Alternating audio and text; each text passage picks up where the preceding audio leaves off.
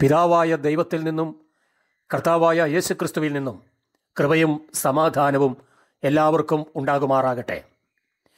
ഈ പ്രഭാതത്തിലെ അല്പസമയത്തെ തിരുവചന ധ്യാനത്തിനു വേണ്ടി വിശുദ്ധ ബൈബിളിലെ അപ്പസ്തോല പ്രവർത്തികൾ ഒൻപതാം അധ്യായം ഒന്നു മുതൽ ഒൻപത് വരെയുള്ള തിരുവചന വാക്യങ്ങൾ വായിക്കുവാൻ ആഗ്രഹിക്കുന്നു. ഷൗൽ കർത്താവിന്റെ ശിഷ്യന്മാരുടെ നേരെ ഭീഷണിയും കൊലയും നിശ്വസിച്ചുകൊണ്ട് മഹാപുരോഹിതന്റെ അടുക്കൽ ചെന്നു. ദമാസ്കസിൽ ഈ മാർഗക്കാരായ വല്ല പുരുഷന്മാരെയോ സ്ത്രീകളെയോ കണ്ടാൽ അവരെ പിടിച്ചുകെട്ടി എരുസലേമിലേക്ക് കൊണ്ടുവരുവാൻ തക്കവണ്ണം. അവിടുത്തെ പള്ളികൾക്ക് അവനോട് അധികാരപത്രം വാങ്ങി. അവൻ പ്രയാണം ചെയ്ത ദമാസ്കസിനെ സമീപിച്ചപ്പോൾ പെട്ടെന്ന് ആകാശത്തു നിന്നും ഒരു വെളിച്ചം അവന്റെ ചുറ്റും മിന്നി. അവൻ നിലത്തു വീണു. ശൗലെ ശൗലെ നീ എന്നെ ഉപദ്രവിക്കുന്നത് എന്ത് എന്ന് തന്നോട് പറയുന്ന ഒരു ശബ്ദം കേട്ടു. നീ ആരാകുന്നു കർത്താവേ? എന്ന് അവൻ ചോദിച്ചതിന് നീ ഉപദ്രവിക്കുന്ന യേശുവാകുന്നു ഞാൻ. നീ എഴുന്നേറ്റ് പട്ടണത്തിൽ ചെല്ലുക. നീ ചെയ്യേണ്ടുന്ന കാര്യങ്ങൾ അവിടെ വെച്ച് നിന്നോട് പറയും എന്ന് അവൻ പറഞ്ഞു. അവനോടുകൂടെ പ്രയാണം ചെയ്ത പുരുഷന്മാർ ശബ്ദം കേട്ടുവെങ്കിലും ആരെയും കാണാതെ മരവിച്ച് നിന്നു. ശൗൽ നിലത്തുനിന്ന് എഴുന്നേറ്റ് കണ്ണു തുറന്നാറേ ഒന്നും കണ്ടില്ല. അവർ അവനെ കൈക്ക് പിടിച്ച് ദമാസ്കസിൽ കൂട്ടിക്കൊണ്ടുപോയി. അവൻ മൂന്ന് ദിവസം കണ്ണു കാണാതെയും തിന്നുകയോ കുടിക്കുകയോ ചെയ്യാതെയും ഇരുന്നു. വിശുദ്ധ ബൈബിളിൽ നിന്നും നാം വായിച്ചു കേട്ട ഈ തിരുവചന ഭാഗം. വിശുദ്ധ ബൈബിളിലെ പുതിയ നിയമത്തിലെ ഇരുപത്തിയേഴ് പുസ്തകങ്ങളിൽ പതിനാല് പുസ്തകങ്ങൾ എഴുതിയ ലോകം കണ്ട ഏറ്റവും മഹാനായ മിഷണറി വീരന്റെ മാനസാന്തര ചരിത്രമാണ്. എരുസലേം നഗരത്തിൽ ഒരു മാളിക മുറിയിൽ പന്ത്രണ്ട് ശിഷ്യന്മാരിൽ നിന്ന് ആരംഭിച്ച ദൈവത്തിന്റെ സഭ പരിശുദ്ധാത്മാവിന്റെ ശക്തമായ പ്രവർത്തനത്താൽ അതിവേഗം വളർന്നുകൊണ്ടിരിക്കുന്ന ഒരു കാലം. ആ ആദിമ കാലത്ത് ആദിമ ക്രൈസ്തവ സഭയ്ക്കെതിരെ ശക്തമായ പീഡനങ്ങൾ നേരിട്ടുകൊണ്ടിരിക്കുകയാണ്. യേശുക്രിസ്തുവിനെ ക്രൂശിച്ച യഹൂദന്മാർ ആദിമ ക്രൈസ്തവ വിശ്വാസികളെയും യേശുക്രിസ്തുവിന്റെ സ്നേഹന്മാരെയും ക്രിസ്തീയ മാർഗത്തെയും ഇല്ലായ്മ ചെയ്യുന്നതിന് വേണ്ടി ശക്തമായ നീക്കങ്ങൾ പലതും നടത്തിക്കൊണ്ടിരിക്കുകയാണ്. അതിന്റെ ഫലമായി ആദിമ വിശ്വാസ സമൂഹത്തിലെ സ്തേഫാനോസ് ഉൾപ്പെടെയുള്ള പലരും ക്രിസ്തുവിനു വേണ്ടി രക്തസാക്ഷികളായി തീർന്നു. എരുസലേമിലുള്ള ആദിമ സഭയ്ക്കെതിരെ ഗൂഢാലോചനകൾ നടത്തി സഭയെ ഉപദ്രവിക്കുന്നതിനും സഭയുടെ ആദ്യത്തെ രക്തസാക്ഷിയായ സ്തേഫാനോസിനെ കൊല്ലുന്നതിനും ഏറ്റവും അധികം മുൻകൈയെടുത്ത് പ്രവർത്തിച്ചിരുന്ന വ്യക്തിയായിരുന്നു ഷൗൽ എന്നു മറുപേരുള്ള പൗലോസ്. ഷൗൽ എന്നും പൗലോസ് എന്നും പേരിൽ അറിയപ്പെടുന്ന ആ യുവാവ് ഒരു കടിച്ചു കീറുന്ന ചെന്നായെ പോലെ. ക്രിസ്തുവിന്റെ അനുയായികളെ എവിടെ വെച്ച് കണ്ടാലും ഉപദ്രവിക്കാനും കൊല്ലാനും അവരെ പിടിച്ചുകെട്ടി ന്യായാധിപ സംഘത്തിന്റെ മുമ്പിൽ ഹാജരാക്കുവാനും അന്നത്തെ മഹാപുരോഹിതന്റെ പക്കൽ നിന്നും അധികാരപത്രം എഴുതി വാങ്ങി ഇറങ്ങിത്തിരിച്ചു. എന്തുകൊണ്ടാണ് ആ ചെറുപ്പക്കാരന് ആദിമ ക്രിസ്തീയ വിശ്വാസികളോട് ഇത്രമാത്രം പകയും വിദ്വേഷവും ഉണ്ടാകുവാൻ കാരണം? അതിനുള്ള കാരണം അദ്ദേഹം യഹൂദമതത്തിലെ ഒരു തീവ്ര മതഭക്തനും യഹൂദ മതത്തിന്റെ നിലനിൽപ്പിനു വേണ്ടി അഹോരാത്രം അധ്വാനിക്കുകയും ചെയ്തിരുന്ന ഒരു വ്യക്തിയുമായിരുന്നു. ഷൗൽ എന്ന ആ ചെറുപ്പക്കാരൻ. യഹൂദ മതത്തിൽ ഒരു നിസാര വ്യക്തിയായിരുന്നില്ല തന്റെ മതത്തിനു വേണ്ടി എന്തെങ്കിലുമൊക്കെ ചെയ്യണമെന്ന് തീരുമാനിച്ച് ഉറപ്പിച്ച് ഇറങ്ങിത്തിരിച്ച ഒരു യുവാവായിരുന്നു പൗലോസ്. അതിന് അദ്ദേഹം കണ്ടെത്തിയത് യഹൂദ മതത്തിന് ഭീഷണിയായി തീർന്നുകൊണ്ടിരുന്ന ക്രിസ്തുവിന്റെ അനുയായികളെ കൊല്ലുക എന്നുള്ളതായിരുന്നു. കിലീക്കിയായിലെ താർസോസ് എന്ന പ്രസിദ്ധ നഗരത്തിൽ വളരെയധികം സമ്പത്തുള്ള ഒരു യഹൂദ കുടുംബത്തിൽ കുലം കൊണ്ടും കുടുംബം കൊണ്ടും ഏറ്റവും ശ്രേഷ്ഠതയുള്ള ബെന്യാമിൻ ഗോത്രത്തിലാണ് ഷൗൽ എന്നു പേരുള്ള ആ മനുഷ്യൻ ജനിച്ചു വളർന്നത്. അതിനുശേഷം കിലീക്കിയായിലെ താർസോസ് യൂണിവേഴ്സിറ്റിയിൽ നിന്നും ഉന്നത വിദ്യാഭ്യാസം കരസ്ഥമാക്കിയ ശേഷം മതപഠനത്തിനു വേണ്ടി ആ യുവാവ് എരുസലേമിലേക്ക് കടന്നുപോയി. ആ കാലത്തെ ഏറ്റവും വലിയ മതപണ്ഡിതനും സർവജനത്തിനും ബഹുമാനമുള്ളവനും യഹൂദന്മാരുടെ ഒരു ഗുരുവും ഉപദേഷ്ടാവുമായിരുന്ന ഗമാലിയൽ എന്ന ഗുരുവിന്റെ പാഠശാലയിലായിരുന്നു ശൗലിന്റെ മതപരമായ വിദ്യാഭ്യാസം പൂർത്തീകരിച്ചത്. മാത്രമല്ല ശൗൽ എന്ന ആ മനുഷ്യൻ യഹൂദ മതത്തിലെ ഏറ്റവും തീവ്ര മതഭക്തിയുള്ള പരീശ വിഭാഗത്തിൽപ്പെട്ട ഒരാളുമായിരുന്നു. അന്നത്തെ കാലത്ത് ഏറ്റവും മാന്യമായ പൗരത്വം എന്ന് പറയുന്നത് റോമൻ പൗരത്വമാണ്. ആ പൗരത്വം റോമാ നഗരത്തിൽ ജനിച്ചു വളർന്നവർക്ക് മാത്രമേ ലഭിക്കുകയുള്ളൂ. എന്നാൽ പൗലോസ് റോമാ നഗരത്തിൽ ജനിച്ചു വളർന്നവനല്ലെങ്കിൽ തന്നെയും റോമാ പൗരത്വവും സ്വന്തമാക്കിയിരുന്നു. കൂടാതെ ശൗൽ എന്നു പേരുള്ള പൗലോസ് അന്നത്തെ യഹൂദന്മാരുടെ സുപ്രീം കോടതിയായ സെൻഹിദ്രീം സംഘത്തിലെ ഒരു അംഗം കൂടിയായിരുന്നു. വിവിധ ഭാഷകൾ കൈകാര്യം ചെയ്യുവാനുള്ള കഴിവ് വാക്ചാതിര്യമുള്ള നല്ല പ്രസംഗകൻ തികവുറ്റ ഒരു എഴുത്തുകാരൻ എന്ന നിലയിലും പൗലോസ് പിന്നീട് പ്രസിദ്ധനായി തീർന്നു ഈ നിലകളിലെല്ലാം യഹൂദ മതത്തിനു വേണ്ടിയും ന്യായപ്രമാണത്തിനു വേണ്ടിയും വളരെ ശുഷ്കാന്തിയോടെ അഹോരാത്രം പ്രവർത്തിച്ചിരുന്ന പൗലോസ് ഒരു കടിച്ചു കീറുന്ന ചെന്നായുടെ ശൗര്യത്തോടുകൂടി ക്രിസ്തു ശിഷ്യന്മാരെ കൊന്നുമുടിക്കുവാൻ അന്നത്തെ മഹാപുരോഹിതന്റെ അധികാരപത്രവുമായി ദമാസ്കസ് എന്ന പട്ടണത്തിലേക്ക് കടന്നു പോവുകയാണ് എരുസലേമിലെ സഭയ്ക്ക് പീഡനമുണ്ടായപ്പോഴും സ്തേഫാനോസ് കൊല്ലപ്പെട്ടപ്പോഴും അവിടെ ഉണ്ടായിരുന്ന വിശ്വാസികൾ നാല് ദിക്കുകളിലേക്കും ചിതറി ഓടുവാനിടയായി.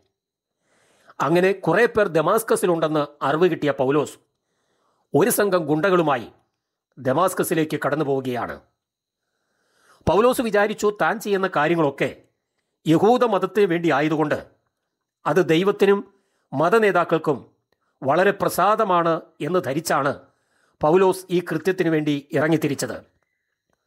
പിന്നീട് പൗലോസ് ലേഖനങ്ങൾ എഴുതിയപ്പോൾ ഇങ്ങനെ എഴുതിയിട്ടുണ്ട്. അന്ന് ഞാനതൊക്കെ അറിയാതെ ചെയ്തതാകൊണ്ട് ദൈവം എന്നോട് കരുണ കാണിച്ചു. ദൈവം എന്റെ തെറ്റുകളെല്ലാം ക്ഷമിച്ചു തന്നു. ഞാൻ ചെയ്യുന്നത് മാത്രം ശരിയെന്ന് ചിന്തിച്ചിരുന്ന ഒരു വ്യക്തിയായിരുന്നു ഞാൻ. എന്നാൽ ഞാൻ കർത്താവിനെ കണ്ടപ്പോൾ എനിക്ക് സംഭവിച്ച തെറ്റ് എന്താണെന്ന് തിരിച്ചറിയുവാൻ കഴിഞ്ഞു.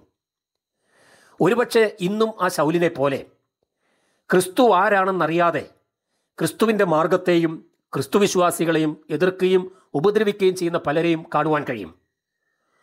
ലോകത്തിൽ ഏറ്റവും അധികം പീഡകളിലൂടെ കടന്നുപോയിട്ടുള്ളതും രക്തസാക്ഷികൾ ഉണ്ടായിട്ടുള്ളതും നിന്ദകളും പരിഹാസങ്ങളും ഏറ്റുവാങ്ങിയിട്ടുള്ളതുമായ ഒരേ ഒരു മാർഗമാണ് ക്രിസ്തുവിന്റെ മാർഗമെന്ന് പറയുന്നത്. ഈ മാർഗത്തെ ഇല്ലായ്മ ചെയ്യുവാൻ അനവധി ചക്രവർത്തിമാരും നാടുവാഴികളും ഭരണകൂടങ്ങളും പരിശ്രമം നടത്തിയിട്ടുണ്ട്. എന്നാൽ തല്ലിക്കെടുത്താൻ നോക്കും തോറും കാട്ടുതീ പോലെ കൂടുതൽ കൂടുതൽ ആളിക്കത്തിയിട്ടുള്ള ഒരു ചരിത്രം മാത്രമേ ക്രിസ്തു മാർഗത്തിന് പറയാനുള്ളൂ. നൂറു വർഷത്തിനു ശേഷം ബൈബിൾ എന്ന പുസ്തകം ഈ ഭൂമുഖത്ത് നിന്ന് മാറ്റപ്പെടുമെന്നും ഈ പുസ്തകം വായിക്കാൻ ഈ ഭൂമിയിൽ ആരും ഉണ്ടാവുകയില്ലെന്നും ഉറക്കെ പ്രഖ്യാപിച്ച നിരീശ്വരവാദിയായ വോൾട്ടെയറിന്റെ ഭവനം ഇന്ന് ലോകത്തിലെ തന്നെ ഏറ്റവും വലിയ ബൈബിൾ കേന്ദ്രമായി മാറിയിരിക്കുകയാണ്. ക്രിസ്തുമാർഗത്തെ ഉപദ്രവിക്കുന്നവർ. അവർ ചെയ്യുന്ന തെറ്റിന്റെ ഗൗരവം തിരിച്ചറിയുന്നില്ല. അവർ ആരെയാണ് ഉപദ്രവിക്കുന്നതെന്നോ ആരെയാണ് നിന്ദിക്കുന്നതെന്നോ ആരെയാണ് വിമർശിക്കുന്നതെന്നോ അവർ മനസ്സിലാക്കുന്നില്ല. ക്രിസ്തു വിശ്വാസികളെ ഉപദ്രവിക്കുമ്പോൾ ക്രിസ്തുവിനെ തന്നെയാണ് ഉപദ്രവിക്കുന്നതെന്നും നിന്ദിക്കുന്നതെന്നും ശൗലിന് പ്രത്യക്ഷനായ ക്രിസ്തു ശൗലിനോട് പറയുകയാണ്. കർത്താവായ ക്രിസ്തു തന്നെ ക്രൂശിച്ച യഹൂദന്മാർക്ക് വേണ്ടി ക്രൂശിൽ കിടന്ന് പ്രാർത്ഥിച്ച പ്രാർത്ഥന. ശത്രുക്കളുടെ പോലും കണ്ണു തുറപ്പിക്കുന്ന ഒരു പ്രാർത്ഥനയായിരുന്നു. പിതാവേ ഇവർ ചെയ്യുന്നത് എന്തെന്ന് ഇവരറിയായികയാൽ ഇവരോട് ക്ഷമിക്കണമേ എന്ന് കർത്താവ് പ്രാർത്ഥിച്ചു. അവരോട് പ്രതികാരം നടത്തണമേ എന്നല്ല പ്രാർത്ഥിച്ചത്. അവർ ചെയ്യുന്ന തെറ്റിന് അവരെ ശിക്ഷിക്കരുതേ. അവർ ചെയ്യുന്ന തെറ്റിന്റെ ഗൗരവം അവ- അവർ മനസ്സിലാക്കുന്നില്ല. അവർ ആരോടാണ് തെറ്റ് ചെയ്യുന്നതെന്ന് അവരറിയുന്നില്ല. അതുകൊണ്ട് അവരോട് ക്ഷമിക്കണമേ എന്നാണ് കർത്താവ് പ്രാർത്ഥിച്ചത്. ഇങ്ങനെ പ്രാർത്ഥിക്കുവാൻ ലോകത്തിലുള്ള ഏതെങ്കിലും ഒരു മനുഷ്യർക്ക് ഏതെങ്കിലും ഒരു വിശ്വാസിക്ക് സാധിക്കുമോ? ക്രിസ്തുവിന്റെ മാർഗം ക്ഷമയുടെയും സ്നേഹത്തിന്റെയും സഹനത്തിന്റെയും മാർഗമാണ്. അത് പകരത്തിന് പകരം ചെയ്യാത്ത മാർഗമാണ്. വാളെടുക്കാത്ത മാർഗമാണ്. സമരം നടത്താത്ത ഹർത്താൽ നടത്താത്ത മാർഗമാണ് ക്രിസ്തുവിന്റെ മാർഗം എന്ന് പറയുന്നത്. ഈ മാർഗത്തിനെതിരെയാണ് താരസോസുകാരനായ ശൗൽ എന്ന ആ മനുഷ്യൻ ഉഗ്രകോപത്തോടുകൂടി ഇറങ്ങിത്തിരിച്ചത്. ശൗൽ എന്ന ആ യുവാവ് അന്നത്തെ മത മഹാപുരോഹിതന്റെ അധികാരപത്രവുമായി ഡമാസ്കസ് എന്ന പട്ടണത്തിലേക്ക് കടന്നു പോവുകയാണ് അദ്ദേഹത്തിന്റെ മനസ്സിൽ ക്രിസ്തു ശിഷ്യന്മാരോടുള്ള കടുത്ത പകയും വിദ്വേഷവുമുണ്ടായിരുന്നു. ഏകദേശം മധ്യാഹ്ന സമയമായി. നട്ടുച്ച സൂര്യൻ തലയ്ക്ക് മുകളിൽ വന്നു നിൽക്കുകയാണ്. പൗലോസിന്റെ കൂടെയുള്ള ആ സംഘത്തിന്റെ കയ്യിൽ വടി വാൾ കയറ് എന്നിവയെല്ലാം കരുതിയിട്ടുണ്ടായിരുന്നു. അതിവേഗം തന്റെ ദൗത്യത്തിനു വേണ്ടി ശൗൽ യാത്ര ചെയ്യുമ്പോൾ നട്ടുച്ച സമയത്ത് പെട്ടെന്ന് ഒരു ശബ്ദം ആകാശത്തു നിന്നും മുഴങ്ങിക്കേട്ടു. അതിശക്തമായ ഒരു വെളിച്ചം വന്ന് പൗലോസിന്റെ കണ്ണുകളിൽ പതിച്ചു. ഉടൻ തന്നെ പൗലോസ് നിലത്തു വീണു. ദമാസ്കസിലേക്കുള്ള വഴിമധ്യേ വെച്ച് പൗലോസിന് പ്രത്യക്ഷനായ ക്രിസ്തു ഇപ്രകാരം അവനോട് ചോദിച്ചു ശൗലേ ശൗലേ നീ എന്നെ ഉപദ്രവിക്കുന്നതെന്ത്? നീ തൊഴിക്കുന്നത് മുള്ളിന്റെ നേരെയാണ്. ഇരുമ്പാണിക്കിട്ട് തൊഴിക്കുന്നത് നന്നല്ല. നീ എന്തിനാണ് നിനക്ക് തന്നെ മുറിവേൽപ്പിക്കുന്നത്? ഉടൻ തന്നെ പൗലോസ് ചോദിച്ചു കർത്താവെ അവിടുന്ന് ആരാണ് എന്നോട് ഈ സംസാരിക്കുന്നത്? പെട്ടെന്ന് പൗലോസിന്റെ കൂടെ യാത്ര ചെയ്തവരെല്ലാം ഒരു നിമിഷം നിശ്ചലമായി നിന്നു. അവർ നോക്കിയപ്പോൾ ഒരു ശബ്ദം കേട്ടുവെങ്കിലും ആരെയും കണ്ടില്ല. ഉടൻ തന്നെ ഇപ്രകാരം ഒരു മറുപടി ഉണ്ടായി നീ പീഡിപ്പിക്കുന്ന യേശുവാകുന്നു ഞാൻ. നീ ഇവിടെ നിന്നും വേഗം എഴുന്നേറ്റ്. ഡമ പട്ടണത്തിലേക്ക് കടന്നു ചെല്ലുക. ഇനി നീ ചെയ്യുവാനുള്ള കാര്യങ്ങളൊക്കെ ഞാൻ നിന്നോട് കൽപ്പിക്കും. ഞാൻ പറയുന്നത് പോലെ തന്നെ നീ പോയി ചെയ്യുക എന്ന് കർത്താവ് പറഞ്ഞു. വിശ്വാസികളെ പീഡിപ്പിക്കുന്നതിന് വേണ്ടി ദമാസ്കസിലേക്ക് പുറപ്പെട്ട ശൗൽ എന്ന മനുഷ്യനെ ഒറ്റ നിമിഷം കൊണ്ട് കർത്താവ് മാനസാന്തരത്തിലേക്ക് നയിക്കുകയാണ്. ശൗൽ എന്ന മനുഷ്യൻ ഒറ്റ നിമിഷം കൊണ്ട് ക്രിസ്തു ശിഷ്യനായി മാറുകയാണ്. അതിശക്തമായ പ്രകാശരശ്മികൾ പൗലോസിന്റെ കണ്ണുകളിൽ വന്ന് പതിച്ചപ്പോൾ പൗലോസ് താഴെ വീഴുകയും മൂന്ന് ദിവസം വരെ കാഴ്ച നഷ്ടപ്പെട്ടവനായി ഭക്ഷണം കഴിക്കുവാനോ വെള്ളം കുടിക്കുവാനോ കഴിയാത്തവനായി ഒരു മുറിക്കുള്ളിൽ തനിയെ കഴിയേണ്ടി വരികയും ചെയ്തു. മൂന്ന് ദിവസങ്ങൾക്ക് ശേഷം അനന്യാസ് എന്നു പേരുള്ള ഒരു ക്രിസ്തു ശിഷ്യനോട് കർത്താവ് ദർശനത്തിൽ പ്രത്യക്ഷപ്പെട്ട് ഇങ്ങനെ പറഞ്ഞു അനന്യാസെ നീ വേഗം പുറപ്പെട്ട് നേർവീഥി എന്ന തെരുവിൽ ചെന്ന്. യഹൂദയുടെ വീട്ടിൽ പാർക്കുന്ന താർസോസുകാരനായ ശൗൽ എന്ന ആ മനുഷ്യനെ അന്വേഷിക്കുക. അവനിപ്പോൾ മൂന്ന് ദിവസമായി എന്നോട് പ്രാർത്ഥിച്ചുകൊണ്ടിരിക്കുന്നു. അവനും ഒരു ദർശനം കണ്ടിട്ടുണ്ട്. അനന്യാസ് എന്ന് പേരുള്ള ഒരു മനുഷ്യൻ തന്റെ തലയിൽ കൈവച്ച് പ്രാർത്ഥിക്കുന്നതും തനിക്ക് കാഴ്ച ലഭിക്കുന്നതും അവൻ ദർശനത്തിലൂടെ കണ്ടിട്ടുണ്ട്. അനന്യാസ് പറഞ്ഞു കർത്താവേ ആ ശൗൽ എന്ന മനുഷ്യനല്ലേ? ക്രിസ്ത്യാനികളെ മുഴുവൻ കൊല്ലുവാൻ വേണ്ടി കച്ചകെട്ടി ഇറങ്ങിത്തിരിച്ച ആ മനുഷ്യൻ? കർത്താവ് പറഞ്ഞു അതെ അവനിപ്പോൾ എന്നെ അറിഞ്ഞിരിക്കുന്നു. എന്നെ അവൻ കണ്ടെത്തിയിരിക്കുന്നു. ഞാൻ അവനെ എന്റെ വേലയ്ക്ക് വേണ്ടി തിരഞ്ഞെടുത്തിരിക്കുകയാണ്. അവൻ ജാതികളുടെയും ഭൂരാജാക്കന്മാരുടെയും മുമ്പിൽ എനിക്ക് വേണ്ടി സാക്ഷ്യം വഹിപ്പാൻ ഞാൻ തിരഞ്ഞെടുത്തിരിക്കുന്ന ഒരു പാത്രമാകുന്നു. കർത്താവ് പറഞ്ഞതുപോലെ തന്നെ അനന്യാസ് എന്ന ശിഷ്യൻ അവിടെ ചെന്ന് പൗലോസിന്റെ തലയിൽ കൈവച്ച് പ്രാർത്ഥിക്കുകയും അവന് കാഴ്ച തിരികെ ലഭിക്കുകയും പരിശുദ്ധാത്മാവിന്റെ ശക്തിയാൽ നിറയപ്പെടുകയും സ്നാനമേൽക്കുകയും ആഹാരം കഴിച്ച് ബലം പ്രാപിക്കുകയും ചെയ്തു. ലോകം കണ്ട ഏറ്റവും വലിയ ഒരു മിഷണറി വീരന്റെ മാനസാന്തര ചരിത്രമാണ് അപ്പസ്തോല പ്രവൃത്തി ഒൻപതാം അധ്യായത്തിൽ എഴുതിയിരിക്കുന്നത്. എല്ലാ മനുഷ്യർക്കും മാനസാന്തരപ്പെടുവാൻ ഒരു കാരണമുണ്ടാകും. എല്ലാവരെയും ദൈവം ഒരുപോലെ ആയിരിക്കില്ല മാനസാന്തരത്തിലേക്ക് നയിക്കുന്നത്. എത്ര വലിയ കഠിനഹൃദയമുള്ള മനുഷ്യനെയും എത്ര വലിയ ക്രൂരനായ മനുഷ്യനെയും ഒറ്റ നിമിഷം കൊണ്ട് മാനസാന്തരത്തിലേക്കും രൂപാന്തരത്തിലേക്കും നയിക്കുവാൻ കഴിയുന്ന ലോകത്തിലെ ഒരേ ഒരു മാർഗമാണ് ക്രിസ്തുവിന്റെ മാർഗം. ക്രിസ്തു വിശ്വാസികളെ ഉപദ്രവിച്ചാൽ കേവലം കുറേ മനുഷ്യരെ മാത്രമാണ് ഉപദ്രവിക്കുന്നത് എന്ന് തെറ്റിദ്ധരിച്ച ശൗലിനോട് കർത്താവ് പറയുകയാണ് ശൗലെ ശൗലേ നീ ഉപദ്രവിക്കുന്നത് പച്ചയായ കുറേ മനുഷ്യരെയല്ല. വെറും മനുഷ്യരെയല്ല നീ എന്നെ തന്നെയാണ് ഉപദ്രവിക്കുന്നത്. നിനക്ക് തെറ്റുപറ്റിപ്പോയി. ഇരുമ്പാണിക്കെട്ട് തൊഴിച്ചാൽ നിനക്ക് തന്നെ ആയിരിക്കും നാശം സംഭവിക്കുന്നത്. തേജോമയനായ ക്രിസ്തു ശൗലിന് പ്രത്യക്ഷം പ്രത്യക്ഷനായപ്പോൾ ശൗലിന് സംഭവിച്ച തെറ്റ് ശൗൽ തിരിച്ചറിയുവാനിടയായി.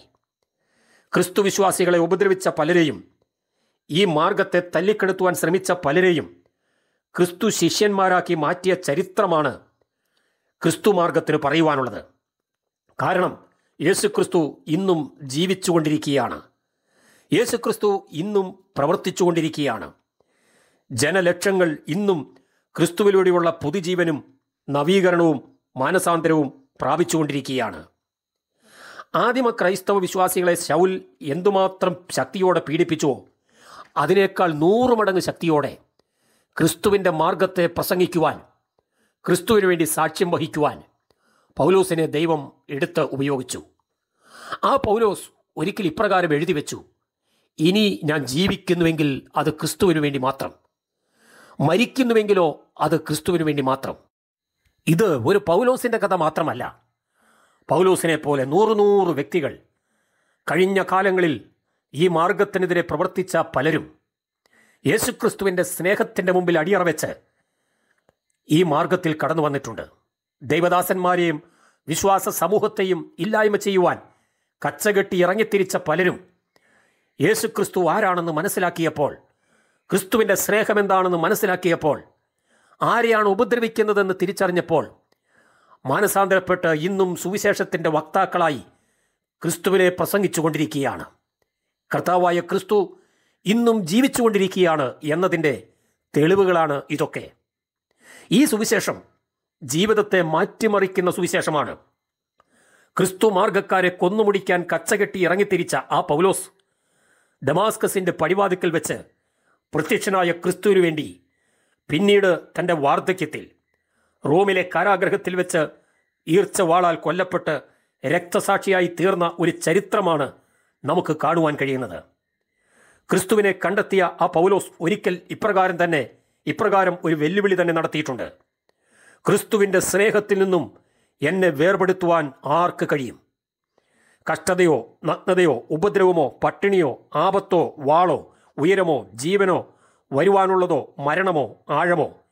എന്തു തന്നെ വന്നാലും ഒരു ശക്തിക്കും യേശുക്രിസ്തുവുമായുള്ള എന്റെ ബന്ധത്തിൽ നിന്നും എന്നെ വേർപിരിക്കാൻ കഴിയുകയില്ല എന്ന് ഞാൻ ഉറച്ചിരിക്കുന്നു. അതെ ആ ഒരു ഉറപ്പാണ് ക്രിസ്തുവിനെ കണ്ടെത്തിയ ഓരോ വിശ്വാസിക്കും പറയുവാനുള്ളത്. ഈ ലോകത്തിൽ അനവധി ശ്രേഷ്ഠ മഹാന്മാരും ഗുരുക്കന്മാരും പ്രഭുക്കന്മാരും നാടുവാഴികളും ചക്രവർത്തിമാരും പുണ്യപുരുഷന്മാരും ഒക്കെ ജനിച്ച് മരിച്ചു പോയിട്ടുണ്ട്. എന്നാൽ അവരുടെ എല്ലാം മുഴുവൻ കഥയും വെറും ശവക്കല്ലറ കൊണ്ട് അവസാനിച്ചിരിക്കുകയാണ്. ലോക ചരിത്രത്തിൽ ഒരാൾ മാത്രമേ മരിച്ച ശേഷം ഉയർത്തെഴുന്നേറ്റ് ഇന്നും ജീവിക്കുന്നുള്ളൂ. അത് കർത്താവായ യേശുക്രിസ്തു മാത്രമാണ്. ഈ ഉലകത്തിലെ സകല മഹാന്മാരുടെയും കല്ലറകൾ എന്നേക്കുമായി അടച്ച് മുദ്ര വച്ചിരിക്കുമ്പോൾ യേശുക്രിസ്തുവിനെ അടക്കിയ കല്ലറ മാത്രം ഇന്നും പലസ്തീൻ നാട്ടിൽ തുറന്നു കിടക്കുകയാണ്. അതിന്റെ അർത്ഥം യേശുക്രിസ്തു ഇന്നും ജീവിച്ചുകൊണ്ടിരിക്കുന്നു. യേശുക്രിസ്തു മാത്രം മരിച്ചവരുടെ നിന്നും ഉയർത്തെഴുന്നേറ്റിരിക്കുന്നു. യേശുക്രിസ്തു ഇന്നും അത്ഭുതങ്ങൾ പ്രവർത്തിച്ചുകൊണ്ടിരിക്കുന്നു. യേശുക്രിസ്തുവിന്റെ പ്രവർത്തനങ്ങൾ ഇന്നും നടന്നുകൊണ്ടിരിക്കുകയാണ്.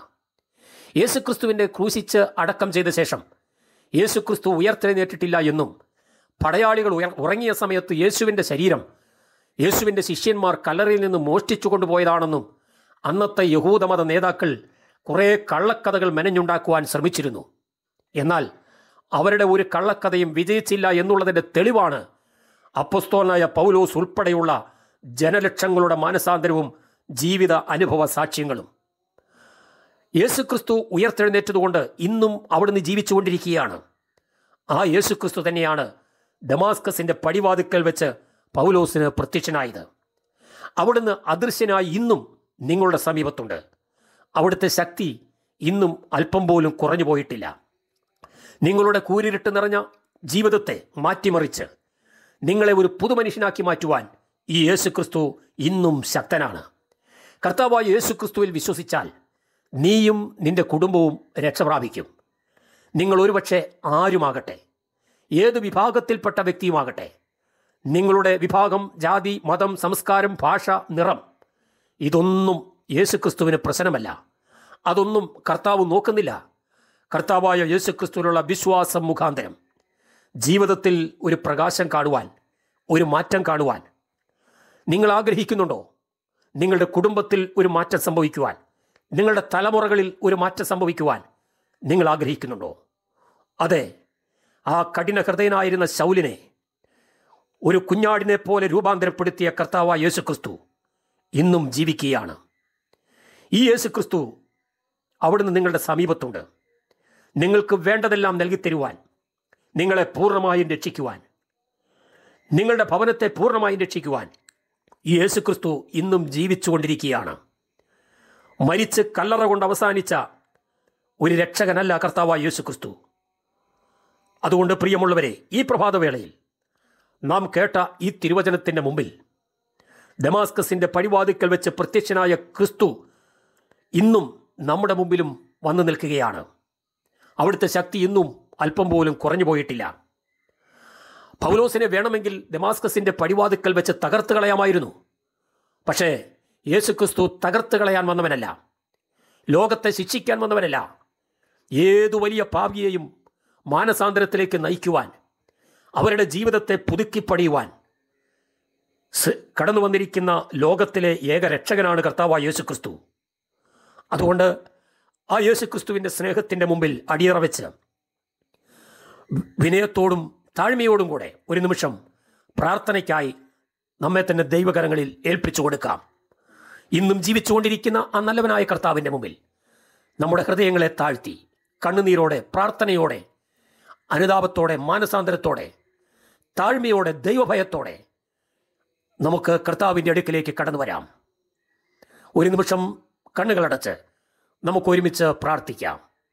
സ്വർഗസ്ഥനായ ഞങ്ങളുടെ പിതാവേ അവിടുന്ന് ഇന്നും ജീവിക്കുന്ന ദൈവമാണെന്ന് ഞങ്ങൾ വായിച്ച തിരുവചന ഭാഗത്തു നിന്ന് ഞങ്ങൾ മനസ്സിലാക്കുന്നു. ദമാസ്കസിന്റെ പടിവാതിക്കൽ വെച്ച് പൗലോസിന് പ്രത്യക്ഷനായ ക്രിസ്തു ഇന്നും സുവിശേഷം പ്രസംഗിച്ച് കേട്ടുകൊണ്ടിരിക്കുന്ന ജനജീവിതങ്ങളെ രൂപാന്തരപ്പെടുത്താൻ ശക്തനാണെന്ന് ഞങ്ങൾ അറിയുന്നു. ഈ പ്രഭാതത്തിൽ ദൈവവചനം ശ്രദ്ധിച്ചുകൊണ്ടിരുന്ന ആരെങ്കിലും യേശു ക്രിസ്തു ആരാണെന്ന് തിരിച്ചറിയാതെ ഈ ലോകത്തിന്റെ മോഹങ്ങളിൽ കുടുങ്ങി പാപത്തിൽ കുടുങ്ങി ജീവിക്കുന്നുണ്ടെങ്കിൽ അവർക്ക് വേണ്ടി പ്രത്യേകമായി പ്രാർത്ഥിക്കുന്നു. യേശു ആരാണെന്ന് അന്വേഷിച്ചുകൊണ്ടിരിക്കുന്ന ആരെങ്കിലും ഉണ്ടെങ്കിൽ യേശുവിന്റെ സ്നേഹം രുചിച്ചറിയുവാൻ ആഗ്രഹിക്കുന്നവരുണ്ടെങ്കിൽ അവർക്ക് ദൈവത്തിന്റെ സ്നേഹവും ശക്തിയും വെളിപ്പെടുത്തണമേ. അപ്പോസ്തലനായ പൗലോസിനെ പോലെ ജീവിതത്തിൽ അറിവില്ലായ്മ കൊണ്ട് ക്രിസ്തു മാർഗത്തെ ക്രിസ്തുവിലുള്ള വിശ്വാസത്തെ അംഗീകരിക്കാൻ കഴിയാത്ത അതിനെ വിമർശിക്കുന്ന നിഷേധിക്കുന്ന ആരെങ്കിലും ഉണ്ടെങ്കിൽ അവരോട് പൊറുക്കണമേ. ഈ പ്രഭാതവേളയിൽ ജീവിതത്തിൽ നിരാശയിലും ദുഃഖത്തിലും തകർച്ചയിലും കണ്ണുനീരിലും ആരെങ്കിലും ആയിരിക്കുന്നുവെങ്കിൽ ഏതെങ്കിലും വിഷയത്തിന്റെ മുമ്പിൽ നീറിപ്പോകുന്ന ഹൃദയവുമായി ഭാരത്തോടെ ആയിരിക്കുന്നുവെങ്കിൽ അവർക്ക് വേണ്ടി പ്രാർത്ഥിക്കുന്നു. കർത്താവിന്റെ അത്ഭുതത്തിന്റെ കരം അവിടെ നീട്ടണമേ. പ്രാർത്ഥന കേട്ടതുകൊണ്ട് സ്തോത്രം ചെയ്യുന്നു. ഞങ്ങൾക്ക് വേണ്ടി ജീവൻ തന്ന കർത്താവും രക്ഷിതാവുമായ യേശു മെസിഹായുടെ നാമത്തിൽ അപേക്ഷിക്കുന്നു. കൃപതോന്നി കേൾക്കണമേ സ്വർഗസ്ഥ പിതാവേ ആമേൻ. പിതാവായ ദൈവത്തിന്റെ നിത്യമായ സ്നേഹവും പുത്രനായ യേശുക്രിസ്തുവിന്റെ മഹാകൃപയും. ആശ്വസിപ്പിച്ച് വഴി നടത്തുന്ന പരിശുദ്ധാത്മാവിന്റെ നിത്യമായ നടത്തിപ്പും കാവലും പരിപാലനവും ഈ പ്രഭാതവേളയിൽ തിരുവചനം ശ്രദ്ധിച്ചുകൊണ്ടിരുന്ന സകല കുടുംബങ്ങളിന്മേലും എല്ലാ പ്രിയപ്പെട്ടവരുമേലും ഇപ്പോഴും എപ്പോഴും ഉണ്ടായിരിക്കുമാറാകട്ടെ. ആമേ സ്വർഗത്തിലെ ദൈവം സമൃദ്ധിയായി നിങ്ങളേവരെയും അനുഗ്രഹിക്കുമാറാകട്ടെ. ആമേൻ.